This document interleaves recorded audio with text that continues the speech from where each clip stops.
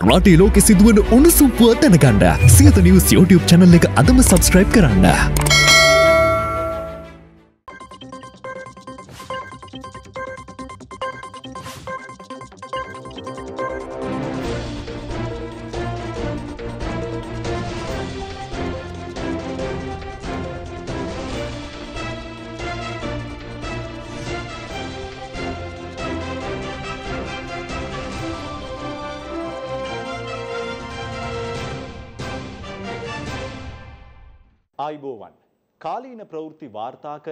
ප්‍රමුඛයා හරිදේ හරියටම කියන සියත රාත්‍රී ප්‍රවෘත්ති විකාශයයි මෙලෙසින් ආරම්භ වන්නේ.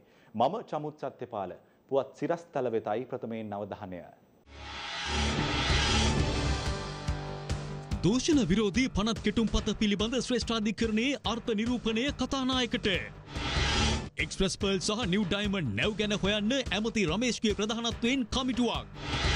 ඇමති නිමල් අජන් බ්‍රහ්ම හිමියන්ගෙන් සමාව ඉල්ලයි. මාධ්‍ය බොරු කියන බව කියයි. තමා ඒ පර්ගන්තෙන් නොගිය බවත් පවසයි.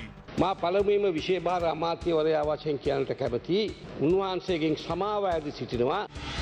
පුල්ලයි පොල්ලයි බේරෙ වතුරයි පාවිච්චි කරන්න කියන රෝහිත. බේරවැේ වතුර පාවිච්චි කරන්න ඒ පාවිච්චි කල හල්ලක අන්නහන් නැත්තං කුල්ලයි පොල්ලයි ගන්න. ඩයිනයි ගීතයි පාර්ලිමේන්තුවේ රැව්දෙයි. අපේක්ෂාවේ යන්ත්‍රය ගැන වෛද්‍ය අසේල කියන කතාව. ඖෂධ හැටක මිලසියට දහසයකින් පහලට. වෛද්‍ය හිඟෙන් තවත් රෝහලක් වැසියාමේ අවධහනමක්. මේ යන විදිහට වැල්පාලමෙන් එගොඩවීම කෙසේ වෙතත් ඖෂධ නැතිව මෝචරයටම යන්න බේබි කියලා අද ටෙලිවැකිය මතක් කරන්නේ උන්ට කිරි අපිට කැකිරි කියලයි. ජනවාරි පළමුණදා සිට වැට් අහෝසී. මිලියන තුන්සිය පණහාකට ආසන්න හොර බඩු තොගයක් රේගු දැලට. අදත් තද වැසි කළුතර පහත්බිම් රසක් ජලයෙන් යටවෙයි. සාමාන්‍ය පෙළ දරුවන්ට ගැටලුවක් නම් එකසියදා හත අමතන්න. නවික හමුදාව මුදා ගැනීමේ මෙහියුම් අරඹයි. ගෙනිකොන දිග අරාබි මුහුදු ප්‍රදේශයේ පීඩන අවපාතයක් ඉක්මනට ගොඩට එන්න කාලගුණේ දීවරින්ට කියයි. ගම්පොල සෙලවෙයි.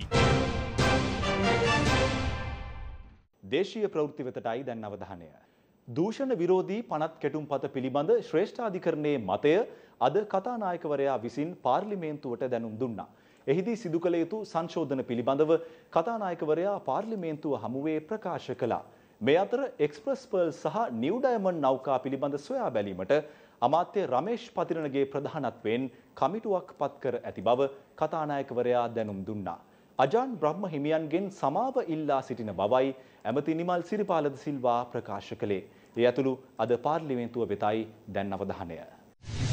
මේ අපරාධ පිටිපස්සේ තියෙන ඊළඟ අවුල තමයි මේ අනවසර ගිනිඅවි භාවිතය ඒකේ 47 විතරයි නැත්තේ මං හිතන්නේ. තිස් අවුරුදු යුද්ධය අවසන් වෙලා එතනින් දකුණු පළාතට ආපු ගිනිඅවි ඒ වගේම මුහුදු හරහා මද්‍රව්‍ය ප්‍රවාහනය කරනකොට ගිනිඅවිත් ඒ අතර එනවා. පසුගිය වසර 3ක කාලය තුල විශේෂ කාර්ය බලකාය විසින් අනවසර ගිනිඅවි 1163ක් අත්අඩංගුවට අරන් තියෙනවා. ඕස්ට්‍රේලියාවේ පර්ත්නුවර ලෝක පූජිත ගරු අජාන් බ්‍රහම් හිමියන් ශ්‍රී ලංකාවට වැඩමකර පිටත්වීමට යන අවස්ථාවේ උන්වහන්සේ සඳහන් කරන ප්‍රභූ ආරක්ෂ ක්‍රියාකාරීන් ඇවිදින්නට බැරිතරමට STF නිලධාරීන් හිටියා. එම නිසා උන්වහන්සේගේ පිටත්වීමත් පැය 12ක් ප්‍රමාද වුණා. උන්වහන්සේ කියන්නේ උන්වහන්සේ කලින් ඇවිල්ලා ඇතුළේ ඉඳගෙන හිටියා. නමුත් උන්වහන්සේව මේ ප්ලේන් එකට ගෙනියන්න පරක් වුණා. කලින් ඉඳන් ඉඳගෙන හිටියා. එතකොට එතන ඉන්න නිලධාරීන් කිව්වා නෑ නෑ තව වෙලාව තියෙනවා කියලා අන්තිමට ගෙනියනකොට ප්ලේන් එක ගිහිල්ලා. මා පළමුවීම විශේභාර අමාත්‍යවරයා වශයෙන් කියන්නට කැබති උන්වහන්සේගෙන් සමාව ඇද සිටිනවා. ඒ වගේ මං ඉතාමත්ම කනගාටු වෙනවා මේ රටේ මාධ්‍ය සංස්කෘතිය පිළිබඳව. අද මාධ්‍යයට උවමනා වෙලා තියෙන මොනහරි සිද්ධියක් වුණාම ඒක කොහේ හරි අයිනකට දේශපාලකයෙක් පටලවා ගන්න. ගරු අග්‍රාමාත්‍යතුමා වෙනම පර්යන්තයකින් ඉඳන් ගියේ. මම හිටියේ මේ පර්යන්තයේම වෙනම කොටසකට. මුලින්ම අගමැතිතුමාට මඩ ගැහුවා ඊට පස්සේ මට මඩ ගැහුවා. මේ නිසා තමයි අපට ඇත්තෙන්ම අර මාධ්‍ය නියාමන පනතක් අවශ්‍ය වෙලා තියෙන්නේ. මාධ්‍ය වල්බූරු විදියට හැසිරෙනකොට අපි කියන අපේ වැරදි පෙන්ලා දෙන්න. ආයතන වැරදි පෙන්ලා දෙන්න. නමුත් ප්‍රවෘත්ති මැනිෆැක්චර් කරන්න එපා.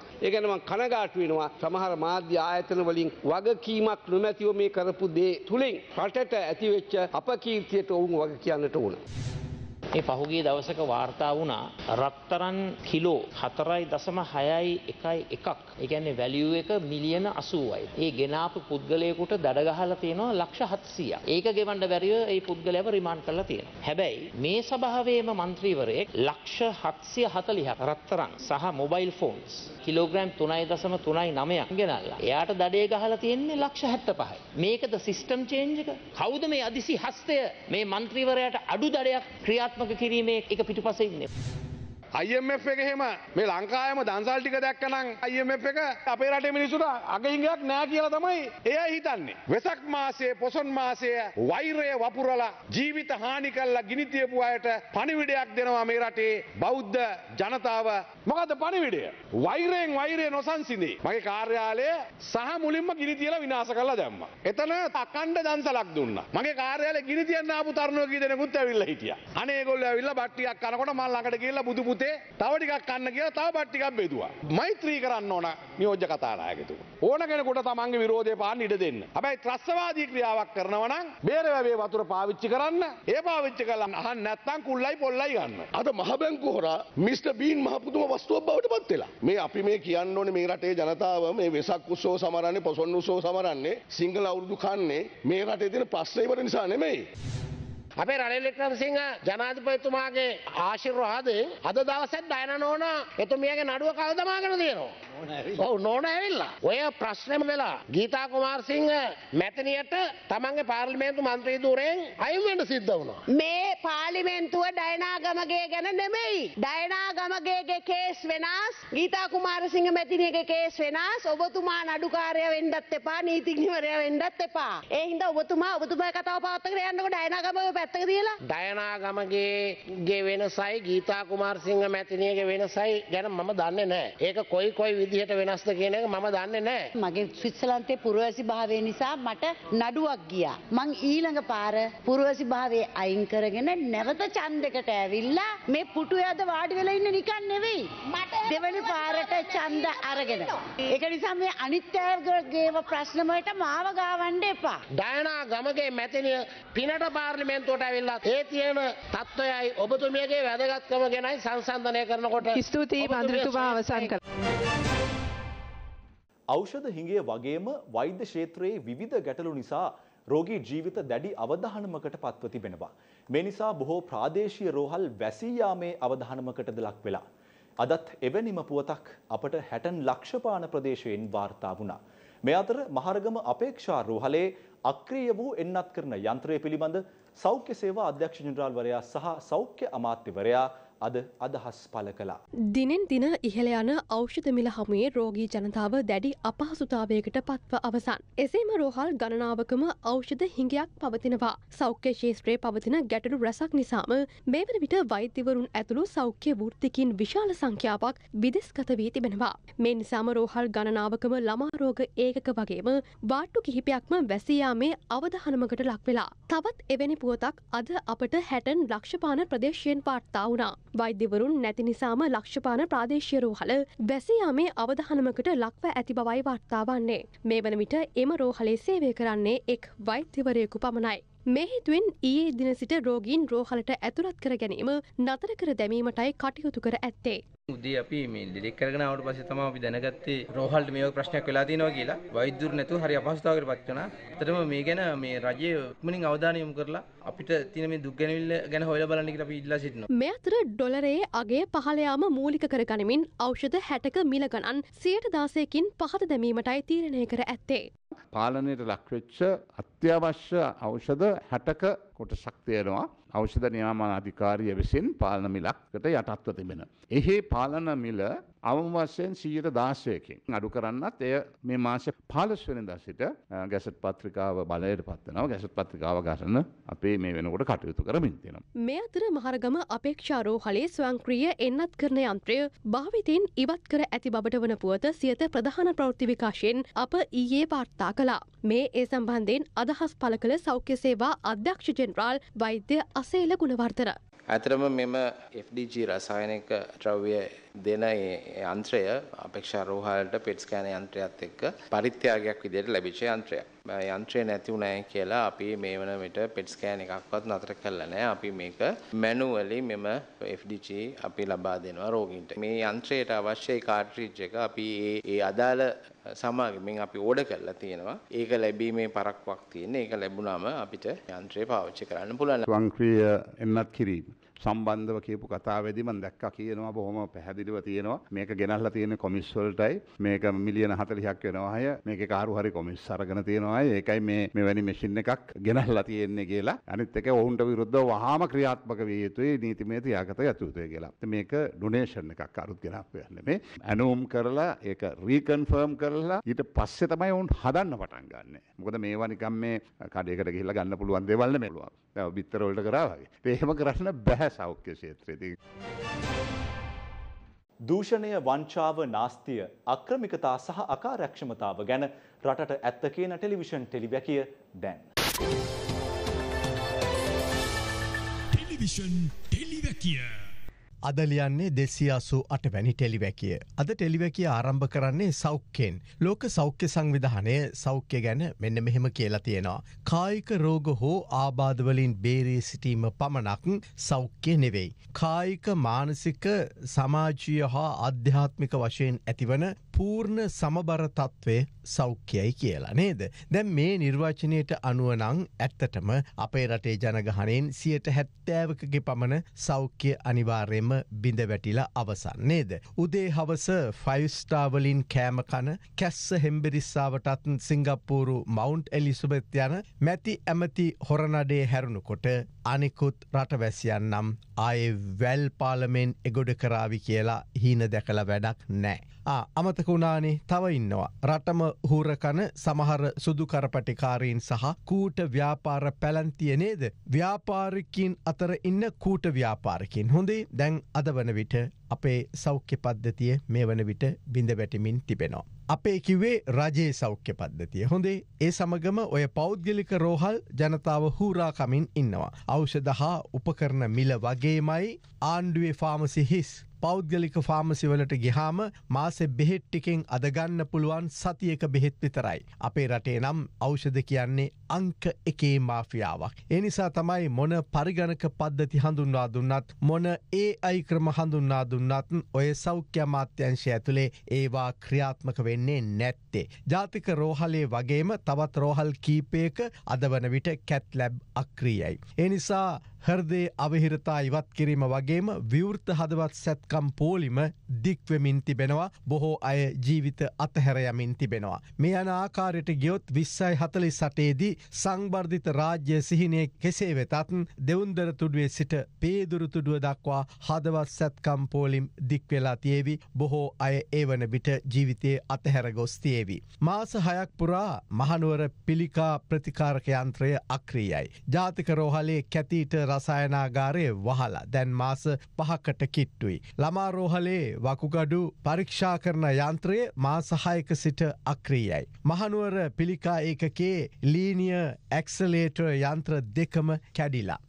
වෛද්‍ය පර්ේෂණ ආයතනය අත්‍යවශ්‍ය පරීක්ෂණ වර්ග හැත්තෑවක් විතර නතර කරලා දාලා. රෝහල් හයකම සිට ස්කෑන් යන්ත්‍ර මාස හයක් කතප්පුරා වැඩනෑ. අත්‍යවශ්‍ය බෙහෙත්වර්ග දෙසියකටත් වඩා වැඩි සංඛ්‍යාවක් හිඟයි. හිගේ අඩු කරන්න මරු ක්‍රමයක් සෞඛ්‍ය අමාත්‍යංශයවාගෙන තියෙනවා. බෙහෙත්වල හිගේ අඩු කරනවා වෙනුවට අත්‍ය අවශ්‍ය බෙහෙත්වල සංඛ්‍යාව අඩු කරමින් තිබෙනවා ලිස්ට එකේ නේද.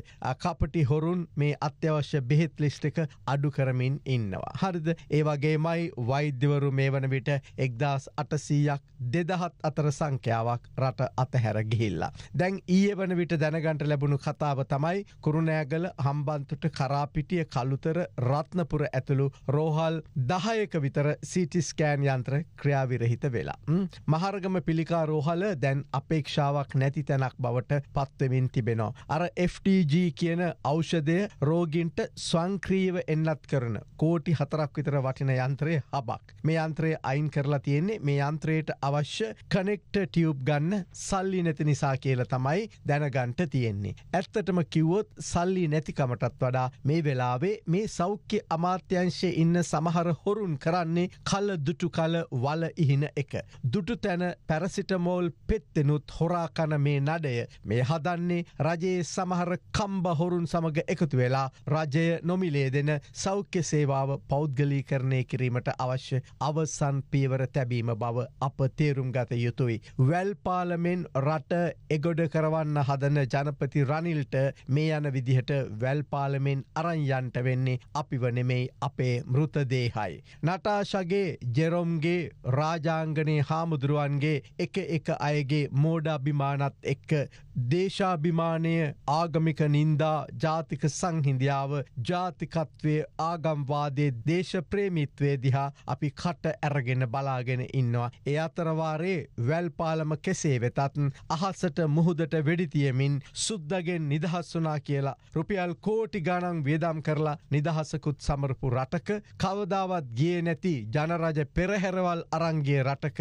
ජනපති මළගෙවල් වලයි ඔටුනු පලඳන උත්සවලටයි යමින් ඉන්න රටක දැන් ණය විතරමයි කියලා අපි තේරුම් ගමු. ඉතිරි වෙලා තියෙන්නේ. අදත් ඩොලර් උපයන සැලස්මක් නැති. හැබැයි දැන් දෙන්න ඕන දේවල් පෞද්ගලිකාංශයට ඉතා පැහැදිලිව දෙමින් ඉන්න. මේ රටේ පණ අදින අහිංසක දුප්පත් රෝගයටත් පැරසිටමෝල් පෙත්තත් කළු කඩයෙන් ගන්න තැනට රට ඇදලදාපු මේ නඩයට එකක් මතක් කරන්ටම ඕනේ. ඔය කොයි කවුරු කවුරුත් ලෙඩ ඇඳට වැටෙනවා. මරණ මංචකයට වැටෙනවා කියලා මතකතියාගෙන ධනේ හොරාකන්න කියන එක මතක් කරනවා ඇ වැල් පාලමෙන් එගඩු කරනවා වෙනුවට ජනපති රනිල් ප්‍රමුඛ මේ ආණ්ඩුව අද හදන්නේ අපව මෝචරියට අරන් යන්න කියලා ටෙලිවැකිය අවසන් කරන්නේ උන්ට කිරි අපට කැකිරි කියන හැත්තෑව දශකී සටන් පාටය මේ අදටත් වලංගු බව මතක් කරමිනුයි.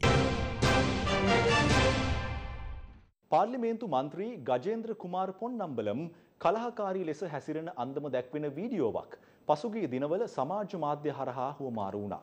පාර්ලිමේන්තු මන්ත්‍රී බලතල අවභාවිතා කරමින් කලහකාරී ලෙස හැසිරුණු මන්ත්‍රීවරයාට නීතිමය පියවර ගන්නා ලෙස ඉල්ලා කතානායකවරයාට ලිපියක් බහර දීමට පූජ්‍ය අක්මීමන දයාරතන හිමියන් අද පාර්ලිමේන්තු සංකීර්ණය වෙත පැමිණියා.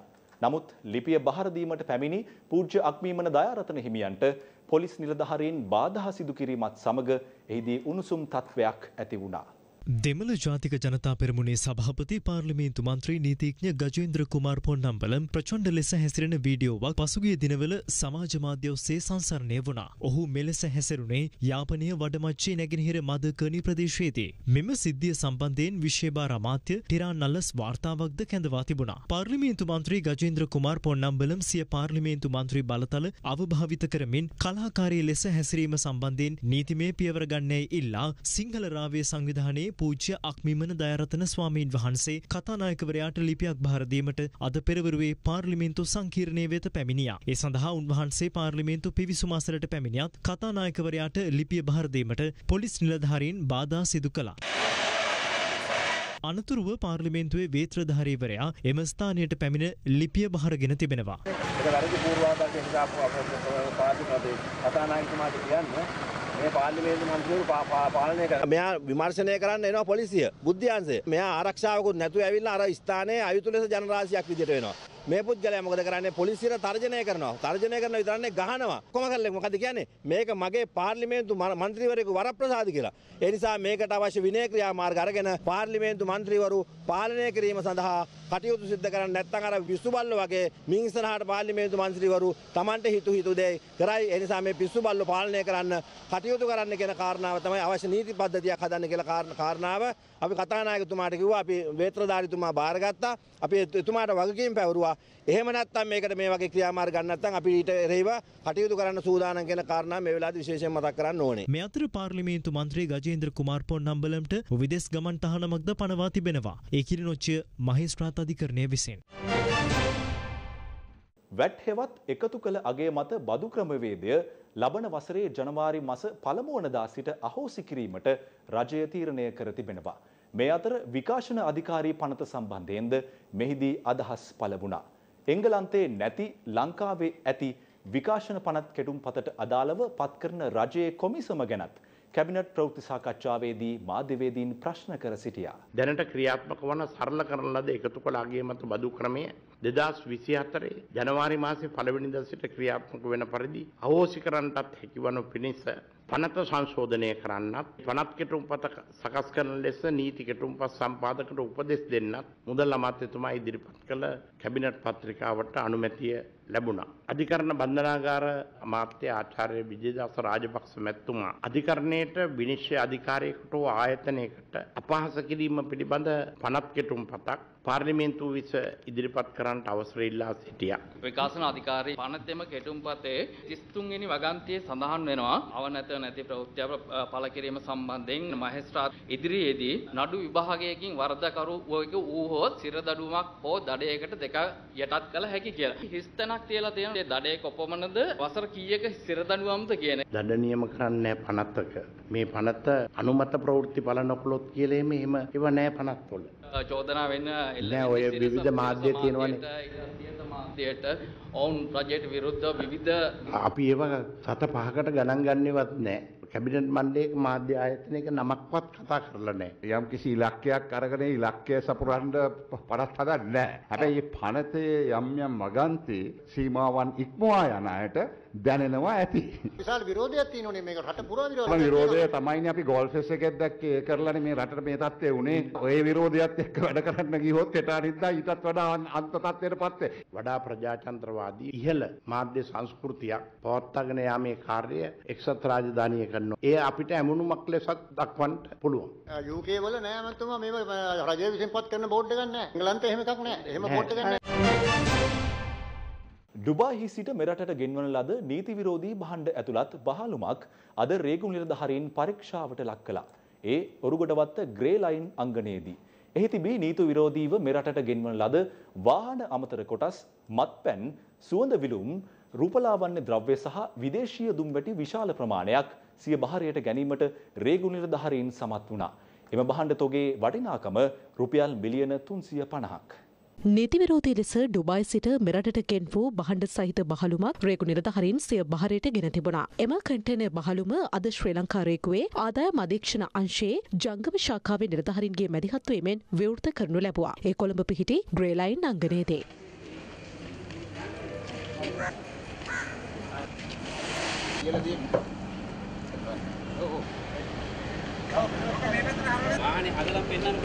මෙය පිටකොටුවේ ව්‍යාපාරිකයෙකු නමට පැමිණි බහලුමක් ඔවුන් මේ රේගුවට ප්‍රකාශ කර තිබුණා පාවිච්චි කරන ලද වාහන අමතර කොටස් ලෙස ඒ සඳහා රේගු බදු ලෙස ලක්ෂ හතකට ආසන්න ප්‍රමාණයක් ගෙවා තිබුණා.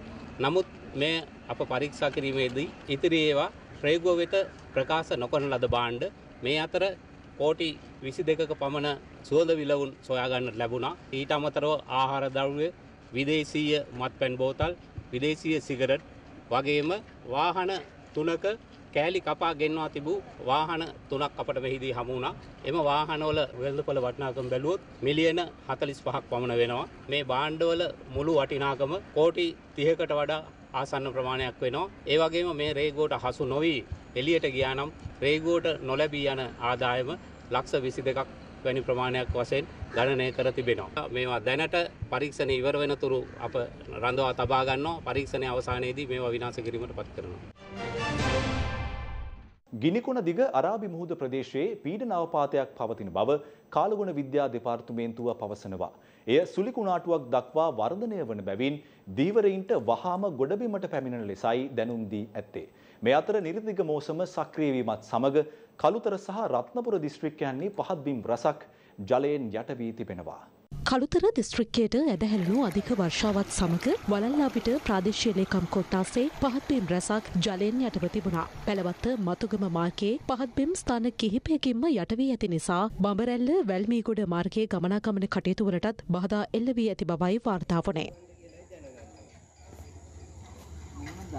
බුලත් සිංහල ප්‍රධාන මාර්ගය සහ දඹල ඇටඹ ගස්සන්දිය ඇතුළු ප්‍රදේශ කිහිපයක්ද ජලයෙන් යටව තිබුණා. මෙනිසා ගමනාගමන කටයුතු සම්පූර්ණයෙන්ම ඇනහිට ඇති බවයි වාර්තා වුණේ. මේ නිසා අපොස සාමාන්‍ය පෙළ විභාගයට මුහුණ දෙන දරුවන් විභාග මධ්‍යස්ථාන වෙත ගියේ ඔරු සහ අගුල් භාවිත කරමින්.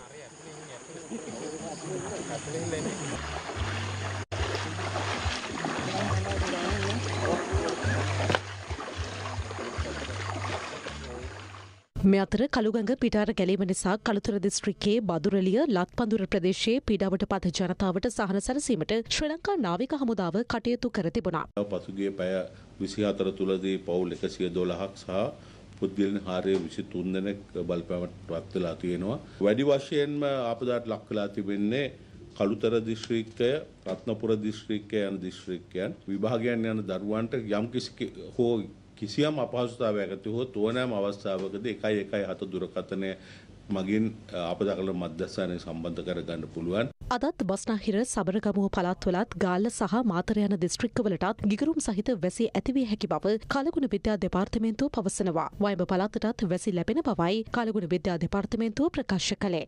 මෝසම් තත්ත්වය පිළිබඳ අවධානය කරද ඇත්තරම දිවින හරහා ක්‍රමිකව මෝසම ස්ථාපිත වෙමින් පවතිනවා. ඉතින් ඒ අනුව මෙම කාලගුණ තත්ත්වය ඉදිරි දවස් කීපයේදීත් දිවයිනේ බලාපොරොත්තු වෙන්න පුළුවන්. මේ අතර වැසි තත්ත්වය නිසා දිස්ත්‍රික්ක තුනකට නිකුත් කළ නායෑම් අනතුරු ඇඟවීම් නිවේදන තවදුරටත් ක්‍රියාත්මක බව ජාතික ගොඩනැගිලි පර්යේෂණ සංවිධානය පවසනවා. ඒ අනුව බදුල්ල ගාල්ල සහ කළුතර යන දිස්ත්‍රික්ක සඳහා නායෑම් අනතුරු ඇඟවීම් නිවේදන තවදුරටත් ක්‍රියාත්මකයි. මේ අතර ගිනිකුණ දිග අරාබි මුහුදු ප්‍රදේශයේ පවතින පීඩන අවපාතයක් පිළිබඳව අවවාදාත්මක නිවේදනයක් කලගුණ විද්‍යා දෙපාර්තමේන්තුව නිකුත් කර තිබුණා. මෙම පීඩන අවපාතය අද රාත්‍රියේ සුළි කුණාටුවක් දක්වා ක්‍රමයෙන් වර්ධනය වීමට බොහෝ දුරට ඉඩ ඇති බවයි කලගුණ විද්‍යා දෙපාර්තමේන්තුව පවසන්නේ. ඒ නිසා දැනට මෙම මුහුදු ප්‍රදේශවල දීවර කටයුතුවල යෙදී සිටින පිරිස වහම ගොඩබීමට හෝ ආරක්ෂිත ස්ථානයක් වෙත පැමිණෙන ලෙසට කලගුණ විද්‍යා දෙපාර්තමේන්තුව දන්වා තිබෙනවා. ගම්පොල ප්‍රදේශයට ඊයේ රාත්‍රියේ සුළු භූකම්පනයක් හටගෙන තිබෙනවා. එය රිච්ට මාපක දෙකක් ලෙසයි සටහන්ව ඇත්තේ. මේ අතර තවදුරටත් වැසි සහිත කාලගුණක තත්ත්වයක් පැවතුනහොත් සුළු භූකම්පන ඇතිවීමේ අවධානමක් පවතින බවයි භූවිද්‍යා පිළිබඳ ජ්‍යෙෂ්ඨ මහාචාර්ය අතුල සේනාරත්න ප්‍රකාශ කළේ. ගම්පොල ප්‍රදේශයේ ඊයේ රාත්‍රියේ සුළු භූකම්පන තත්ත්වයක් හටගෙන තිබෙනවා. ඒ සටහන්ව ඇත්තේ රිෂ්ඨ මාපක දෙකක් ලෙසයි. රාත්‍රී දහයයි හතලිස් නවයට පමණ මෙම භූකම්පනය සිදුව ඇති බවයි භූවිද්‍යා හා පතල් කැනීම් කාර්යංශයේ ජේෂ්ඨ භූවිද්‍යාඥ නිල්මිනි තල්දින සියත අප කළ විමසීමකදී සඳහන් කළේ. එලෙස හටගත් භූකම්පන තත්ත්වය මහකනදරාව හක්මන පල්ලේ කැලේ බුද්ධංගල යන මාපකවලද සටහන්ව තිබෙනවා. මෙම භූකම්පනෙන් බරපතල දේපලහානි හෝ ජීවිතහානි සිදුවී නොමැති බවයි භූවිද්‍යා හා පතල් කැනීම් කාර්යංශය සඳහන් කළේ. භූකම්පනය පිළිබඳව අදාළ අංශ මූලිකත්වෙන් මෙවන විට පරීක්ෂණද ක්‍රියාත්මකයි.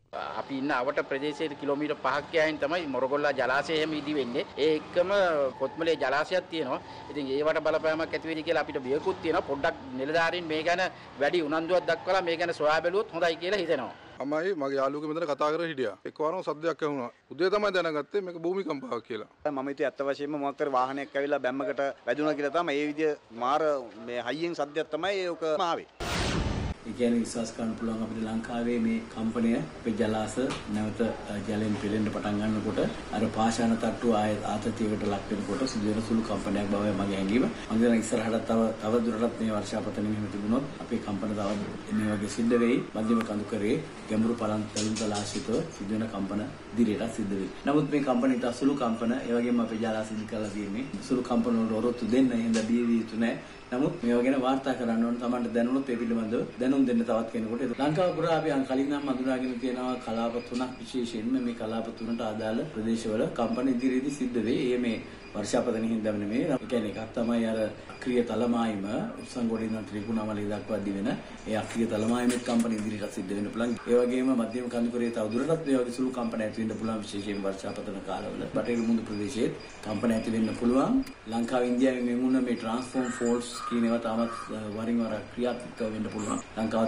තාමත් ඉන්දියාවෙන් ඈත් වෙමින් පවතිනවා. එහෙමින් සිදු වුණාට මේ කම්පන ඉදිරියේදී මුහුදු ප්‍රදේශවල ඇති වෙන්න පුළුවන්. බජාජ් ඩිස්කවරි 125 මෙරට තරුණ පරම්පරාව අතර ජනප්‍රියතම යතුරු පැදියක්. අද වන විට ලක්ෂ පහකට වැඩි පිරිසක් මේ යතුරු පැදිය භාවිත කරනවා. දැන් දේශීය අගේ එකතු කළ බ්‍රෑන්ඩ් නිව් බජාජ් ඩිස්කවරි 125 යතුරු පැදියද අපේ වෙළඳපොළට හඳුන්වා දෙනු ලැබුවා. ඒ ඩේවිඩ් පීරිස් මෝට කම්පනි පුද්ගලික සමාගම විසින්.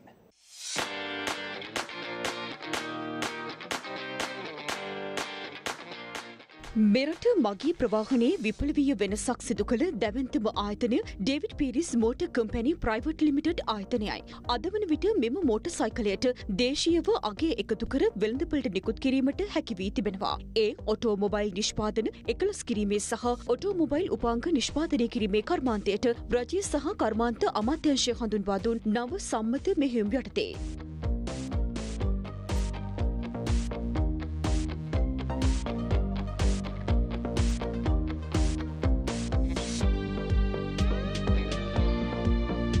වැඩිදියුණු කළ බජාජ් 125 ඩිස්කවරි නව අංග රැසකින් සමන්විතයි. ඉදිරිපස හා පසුපස රෝද දෙකම සමබරව ක්‍රියාත්මක ඇන්ටි ස්කීඩ් බ්‍රේක් පද්ධතිය මතුපිට ලිසායාම වලක්වමින් ග්‍රිප් සහිත සීට් එක සහ වේග පහේ ගිය සහ ඩිජිටල් ගිය ඉන්ඩිකේටරය DRL හෙඩ්ලයිට් ඇතුළුව විශේෂංග රැසකින් සහ වර්ණ රැසකින්ද සමන්විතයි. මේ සම්බන්ධයෙන් අදහස් දැක්වූ David Peiris motor company private limited හි සාමාන්‍ය අධිකාරී වාහන විකුණුම් ලක්මාල්ද සිල්වා. ඩිස්කව යතුරුපැදි හරිම විශේෂ යතුරුපැදිය ලංකාවේ මේ වෙනකොට ලක්ෂ පහකට අයිතික පාරිභෝගික සංඛ්‍යාව මෙම යතුරුපැදිය පාවිච්චි කරනවා. ඉතින් හැමෝම හිතාමත් ජනප්‍රිය මොඩල්. අපි නැවතත් මේක අපේ පාරිභෝගිකයන්ට ලබා දෙනවා කෙටි විරාමයකට පස්සේ වැඩි දියුණු කරලා තියෙන උපාංග කීපකින්ම සමත් වෙලා තියෙනවා. හරියටම genuinely 125cc එන්ජින් එකක් මේ යතුරුපැදිය තියෙනවා 5 gears ඉලෙක්ට්‍රික් ස්ටාර්ට් තියෙනවා. ඩිජිටල් මීටර එකක් තියෙනවා. ඩියර් ඉන්ඩිකේටර් එකක් එක්ක ඊටමට 10 රික් ඇලොයි වීල්ස් තියෙනවා. ටියුබ්ලස් ටයර්ස් තියෙනවා. ඒ වගේ ගොඩක් අලුත් ෆීචර්ස් මේකට අන්තර්ගත කරලා තියෙනවා. අපි ඉතින් විශ්වාස කරනවා ශ්‍රී ලාංකික පාරිභෝගික ජනතාව ඉතාමත් ආදරයෙන් මේ අතුරු පැදිය නැවතවරක් වැළඳ ගනී කියලා. ආනයන සීමා පැනවීම හේතුවෙන් වසර තුනක නිහැண்டிයාවකට පසු රජය විසින් හඳුන්වා දුන් සම්මත මෙහෙයුම් පටිපාටි යටතේ පළමු වරට brand new city 100 motor සයිකලය David Peiris motor company private limited විසින් 2022 වසරේදී යලි මෙරටට හඳුන්වා දුන්නා. බජාජ් මෞසමාගමේ පරීක්ෂණවලට ලක්කොට අනුමත කරන ලද උපාංගද සමගින් බජාජ් ඩිස්කවරි 125 සහ සිටි 100 මෝටර් සයිකල් මාදිලි දෙකම හම්බන්තොට දිස්ත්‍රික්කයේ රන්නේ පිහිටි සියලු පහසුකම් සපිරි ඩේවිඩ් පීරිස් මෝටර් කම්පැනි නිෂ්පාදන සංකීර්ණයේ නිපදවනු ලබනවා.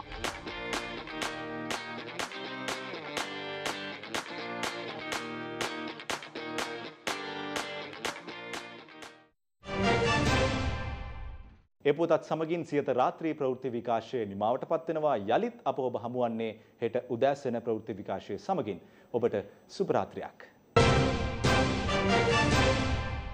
දිනපතා අලුත් වීඩියෝ සහ ප්‍රවෘත්ති නැරඹීමට ඉහත බටන එක ක්ලික් කර සියත TV සබස්ක්‍රයිබ් කරන්න.